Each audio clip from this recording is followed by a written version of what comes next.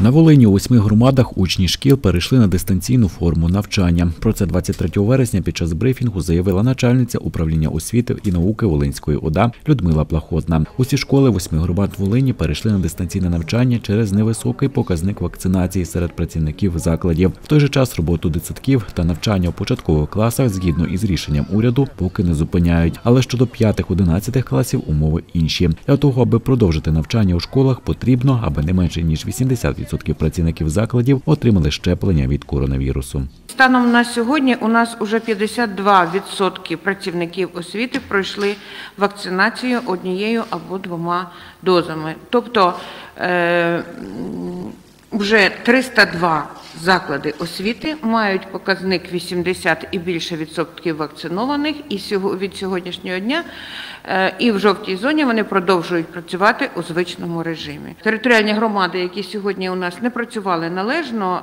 е, щодо вакцинації і підготовки закладів до роботи в жовтій зоні, і маємо сьогодні 100% закладів перейшли на онлайн закладів загальної середньої освіти. Це Мар'янівська селищна е, громада, це е, Велицька, е, це громада Головненська, Дубечнинська, Любомльська, Рівненська, Шацька громада.